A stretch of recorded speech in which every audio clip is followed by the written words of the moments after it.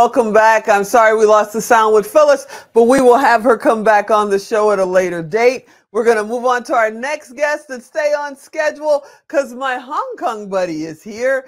I didn't know it. She didn't know it, but we both love Hong Kong and we're good friends now. Katherine is in the room. Hey, Katherine, how are you? Hey there. Great. Happy International Women's Day. Happy International Women's Day. Oh my goodness. You look amazing. Thank you. from a vacation. Were you on vacation? well, I was in San Francisco, but it was work. oh, it was work. But sometimes work. just moving around makes it feel like a vacation. You look amazing. I'm so glad you could be here. I we met at a couple of events now we've run into each other. And you mentioned hong kong and i said hey that was my second home for a while. I love hong kong. And we just started talking about that. How's things back in our second home of hong kong? Do you think you're going to get to go home again anytime soon Oh, it's so great. I mean, it's such a small world. I could not believe that you and I had Hong Kong in common um, and that you were doing things at the Clearwater Bay Film Studio, I believe, which is literally like a stone's throw from our home in Clearwater Bay hello. I mean, it was just a matter of time before we were going to meet each other. and see, if I had known, I would have come by and we would have had coffee there. You know, it's like I would love that. I would we, love. We that. have to go meet across the pond that way, not yes. England, but Hong Kong, really soon. Now that things seem to be getting better. I well, hope I hope better. so. I know that, you know, we each have a deep love in our heart for Hong Kong. And so a shout out to everybody there who's going through what feels like um, the worst wave, believe yeah. it or not, for Hong Kong is right now. And yeah. so just love and blessings and showering the community there with the support from us who feel a little bit further down the line um, because I guess that wave hit us faster since we didn't have the no COVID sort of COVID free policy that Hong Kong has had for so long. And it appeared that bless the, you know, that community, they had nothing until now. So it's rough yeah. right now. It's rough, but um, wow. Hong Kong's resilient and they're going to get through it. Yeah, you and I can sit here and talk about Hong Kong all day, but you know everybody else is going, yeah, but what else does she do? So let's talk about what else you do because you know other than traveling and and looking amazing, you actually have programs. You are, you know, a TEDx talk speaker multiple times. You're on stages. You've been on several television shows over the years. Let's talk about what your specialty is and why did you choose it? Thank you so much. So, um, the conscious parenting revolution is my passion, and it's to really bring, well, I can, at least in my little way, the paradigm shift that I believe is necessary for parents to begin to see children as people too so that those behaviors that we want to come down hard on, we're able to see them instead as the tragic expression of an unmet need. And that mm-hmm. paradigm shift to seeing those quote unquote bad behaviors as the expressions of unmet needs opens up so many possibilities for compassion and empathy that kind of spring forth when you see someone suffering rather than being badly behaved. So, this is a, a real paradigm shift in parenting where the authoritarian behavioralist, because I said so, because I'm the mother, because I'm the father, because I have a position of power, you're supposed to do what I want. And that is an old paradigm. We know it activates retaliation, rebellion, and resistance, the proverbial three R's, and mm-hmm. that we then spend 75% of our time managing the reaction to how we dealt with the initial problem. And that reaction, one of my TED Talks is the rebellion is here. We created it and we can solve it. And I focused on really looking at school shootings and mm. recognizing that a lot of those kids that are acting out in these massively tragic ways, we can trace back to not having been seen, heard, and understood from their perspective.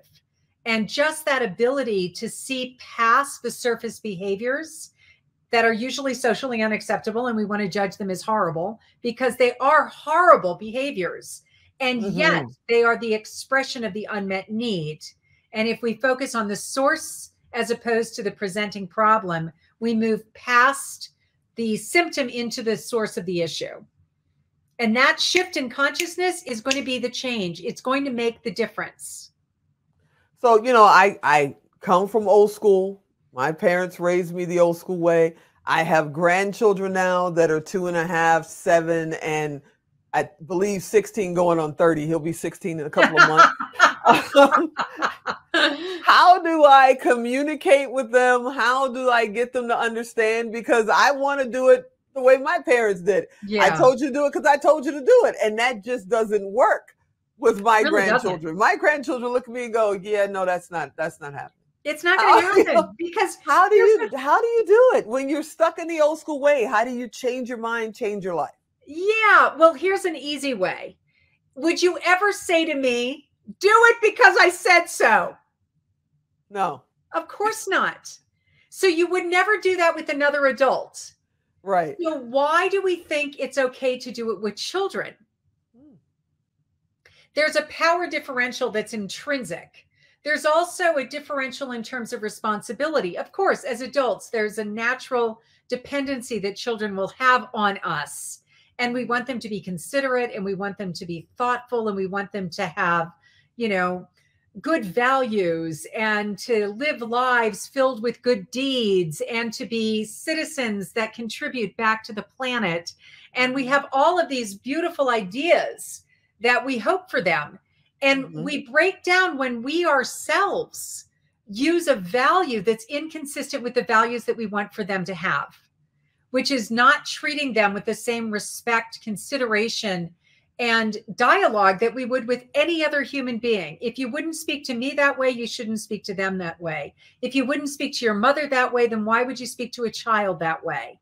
The minute we change our perspective and look at children as people too, what would naturally flow forth from us and how we would communicate will be different. I remember my daughter at five years old saying to me, Mom, that lady would never have spoken to you that way. And it was mm. such an extraordinary realization on her part that there was something about how that woman was communicating with her that indicated that she was looking down on her mm.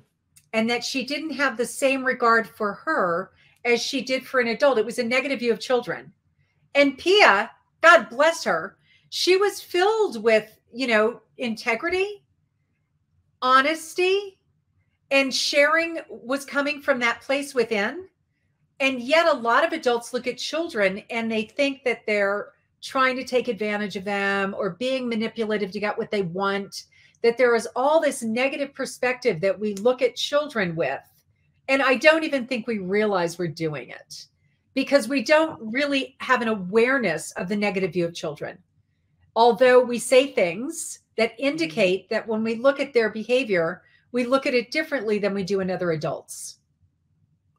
So the question I have now is, especially we're quote unquote coming out of COVID. Mm-hmm. I personally don't know if we'll ever come out a hundred percent, but we're trying. We're trying to yeah. make some differences, trying to get back to the new normal.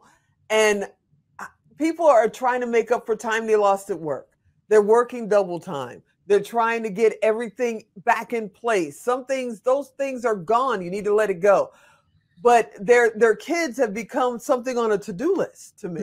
Mm-hmm. It's mm-hmm. like I, mm. I've got to make sure that Billy gets the soccer practice. It's in mm-hmm. my schedule. Mm. You know, how would you get somebody to understand that what you're saying? Treat them like they would treat their best adult. client, their best friend, an adult, and not just on the list, get in the car, let's go. What would you say to them? So great. I'd say, you know, take a breath right? Take a breath, pause, and remember why we had children to begin with. Mm. And all those things that are inconvenient that get in the way of our to do lists, that get in the way of us getting to the next thing and checking it off and being productive. If we imagine what joy there is in the fact that we got blessed to have children, not everyone who wants them gets them. And yet mm. we did and so we have this beautiful relationship that we get to cultivate with our children. And I know for me, I've been one of those people who's been checking the list and, you know, just getting it done and like getting mm-hmm. everybody where they need to be on time and, you know, all of that stuff and going through the list. And I know I've had this shift. And I even remember my daughter saying, because she was finishing her last semester at USC um, here on the sofa at this house because of COVID. Ooh. And her boyfriend was here too because he was finishing um, his first year of med school. And he was doing it um, here at this house as well. So it was so fun. We we got to have them around and and Pia would say things to me like, you know, mom, um, we're all going to have dinner now. Would you stop working and come join us? And I thought to myself, wow, you know, it's so true. We can get so caught up in our to do list and being busy and productive and all that kind of stuff. And we might look back on our lives and say, oh my God, I missed that chance. I'm not going to miss those chances anymore. My daughter got in today. I'm going to celebrate. You know, it's International Women's Day, and my daughter just learned that she's been accepted into the PhD program in, uh, program in clinical psychology oh, at awesome. Northwestern University. And she also got word from CU Boulder that she was their number one, unanimously number one pick for their PhD program at CU Boulder. Wow. So now she's got this big decision to make where she's going to go. And I'm just celebrating. And I'm going to go to Chicago and meet her this weekend. And I'm going to go amazing. to Northwestern and tour the campus next week. And then we're going to come back here and go up to Boulder. And I'm going to soak up every minute that I have. well, you know, Chicago's my home. You're gonna love Northwest. It's it's an amazing campus. It's an amazing campus. You're gonna love it. Congratulations. I didn't realize that. Oh, yeah, oh, that's fantastic. Born in Gary, Indiana, raised in Chicago. That's home for me. But oh, terrific. Before people send me hate mail, let's tell them about your program and how they can connect with you and you know what you're offering to help them because they've got you know a 16 year old going on 32 and they're going i'm i'm two inches away from locking them out the door i'm telling you i'm two inches away. So how how do true. your programs work and how would they get connected with you for your programs? Thank you yes so i have a 90 day parenting reset and the 90 day parenting reset is an opportunity for parents to reboot their relationship with their kids and it's great. I have people in the training program who have kids who are actually as young as five mm. and as old as 27. So there's kind of right now, at least, and it's always changing because people come and go into the program. But essentially, what I offer is the COVID version was that I got to go online. And that's been wonderful because I have people who tune in from Dubai, I have people who tune in from Hong Kong and Los Angeles and Denver and all over the world. And we all come together on Monday nights when I do my coaching at 6 p.m. Pacific time. And then in between each Monday night coaching call, they go into the, the landing page where the 90 day parenting reset training videos are. And that's where every week there are two or three training videos for half an hour, 20 to 25 pages of reading and workbook exercises. And that's the self study part. And then they come into the group calls and they get the coaching. And i work together with a with a, a pediatrician as hmm. well. And then she'll meet with them separately for half an hour every month and then they get some personal time with me as well. So it's that combination of one-on-one group coaching self-study and i think it's the best program i've ever had and it really it's one of the great birthing processes of covid is that we're forced to do things that we wanted to do for years for years, I had people say to me, you know, if this was online, my sister in New York could take it with me. If this oh. were online, people in other places in the world could do this with me. And in any event, for 20 years, I just kept doing it in person in Hong Kong, mostly in schools to parent communities that, you know, schools would invite me as the back to school night guest speaker. And I would talk about, okay, what are the disadvantages of using rewards and punishments? Because it's wow. what everybody does. Yeah. And I get to talk about, well, the problem with getting people to change their behavior because of what you're going to do to them is that it gets them focusing on this thing you're going to do, the goodie they're going to get, or the thing they're going to suffer, as opposed to really beginning to understand like, what is it about my behavior that is upsetting to the other person? And how can I be considerate of other people's needs? So inadvertently, people are focusing their children's minds not on being considerate of others, but focusing even more on themselves and what am I going to get or happen to me. Amazing. I've got to have you come back on the show. I know you're going to do that, and we've got other projects coming up together. So we're gonna they're gonna see us hang out a little bit. We're gonna hang I love that. yeah. And everybody out there, if you guys want to find out more about Katherine, more about her programs, you know what to do. Go to TGo Direct, type in Katherine, and you will see her profile. You will see a little box that you can send her a message. It'll get to her inbox, and she'll reach back out to you, and you can find out more about her programs and everything that she's doing and what stages she'll be on next because you just never know when you talk with Katherine. One day she's in Hong Kong, the next day she's in New York City, but she's amazing. Katherine, you are the best. Thank you so much for coming Thank on. you so much. this little bit of time with it's us. so great to be here. Love it. You're amazing. Thank you. you are too. Bye bye. Bye.